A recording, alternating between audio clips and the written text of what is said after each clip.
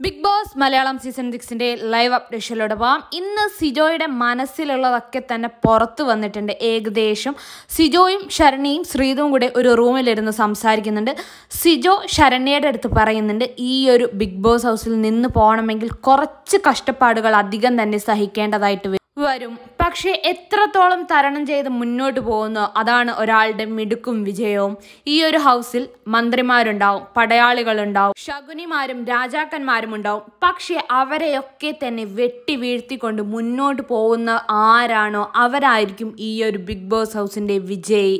Top ഫൈവിൽ എത്തുക എന്നത് ചെറിയ ലക്ഷ്യമൊന്നുമല്ല ഒരു വലിയ ലക്ഷ്യം തന്നെയാണെന്നൊക്കെ ശരണ്യയുടെ അടുത്ത് പറയുന്നുണ്ട്. എന്തായാലും സിജോയുടെ ഗെയിം ലക്ഷ്യങ്ങൾ അത്ര ചെറുതൊന്നുമല്ല എന്നുള്ള കാര്യം ഈ ഒരു വർത്താനത്തിൽ നിന്ന് ഇന്ന് മനസ്സിലായിട്ടുണ്ട്. പുറത്തു നിന്ന് ഗെയിം കുറച്ചുകൂടെ കണ്ട് മനസ്സിലാക്കിയതിന് ശേഷമാണ് സിജോയുടെ രണ്ടാമത്തെ എൻട്രി ബിഗ് ബോസ് ഹൗസിലേക്ക് എത്തുന്നത്. എന്നാൽ അദ്ദേഹം തന്നെ പറയുന്നുണ്ട് ഗെയിമിൽ കുറച്ചൊക്കെ പിൻവലിഞ്ഞു നിന്നാലും ബുദ്ധിയും ക്ഷമയും മനസ്സിന്റെ ഏകാഗ്രതയുമാണ് ഏറ്റവും വലുത് ഈ ഒരു മത്സരത്തിനെന്ന് ശരണ്യയുടെ അടുത്ത് പറയുന്നുണ്ട്.